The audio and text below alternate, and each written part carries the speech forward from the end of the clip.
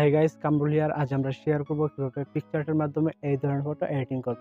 এই জন্য আপনাদের স্টেপ বাই স্টেপ ফলো করতে হবে, তাহলে আপনারা এই বিষয়টা বুঝতে পারবে আপনি যদি আমাদের চ্যানেল নতুন দর্শক হয়ে থাকেন, তাহলে অবশ্যই চ্যানেলটিকে সাবস্ক্রাইব করবেন এবং নিচ থেকে বেল আইকনটি বাজিয়ে দেবেন। তাহলে আপনি পাবেন আমাদের আপডেট সবার আগে। তো চলুন ভিডিওটি শুরু করা